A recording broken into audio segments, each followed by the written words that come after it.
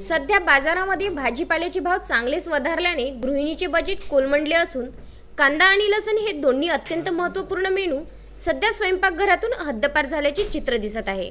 भाजी बाजारामध्ये कांद्याचे भाव प्रति किलो सत्तर रुपये तर लसणाचे भाव प्रति किलो एकशे पन्नास ते एकशे साठ रुपये झाल्याने नागरिकांना बिना कांदा व लसणाने आपली पोटपूजा करावी लागत आहे. सध्या कडक चढलेल्या उन्हाच्या पाऱ्यासमान बाजारामध्ये नागरिकांसाठी जीवनावश्यक असलेल्या भाजीपाल्याचे भाव गगनाला भिडल्यामुळे स्वयंपाकघराचे गणित बिघडल्याने गृहिणी चांगल्याच चिंतेत दिसून येत आहे. त्याचप्रमाणे पालकाचे भाव सुद्धा गगनाला भिडत आहे. पालकाचे भाव प्रति किलो शंभर तर टमाटरचे भाव प्रति किलो ऐंशी ते शंभर रुपये झाले आहेत.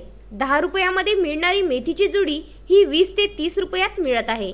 गवार शेंगा भेंडी चवडी दोडका आदी भाज्याचे सुद्धा भाव प्रति किलो शंभर रुपये झाले असून सर्वच भाज्यांचे भाव हे गगनाला भिडल्याने भाजीपाला हा स्वयंपाकघरातून जवळजवळ हद्दपार होण्याच्या मार्गावर दिसून येत आहे. विदर्भात सर्वच जिल्ह्यात सर्वच भाज्या ऐंशी रुपये प्रति किलोच्या वर असल्याने श्रीमंतांनाही या भाज्या विकत घेताना आपल्या खिशाकडे बघावे लागत असून चिल्लर बाजारात सुद्धा महागाईने कहर केला असून त्याचा फटका सर्वसामान्यांना बसत आहे. पूर्वी वीस ते तीस रुपये प्रति किलो मिळणारी भाजी आता ऐंशी ते शंभर रुपये किलो मिळत असल्याने सामान्य माणूस त्रस्त झालेला आहे.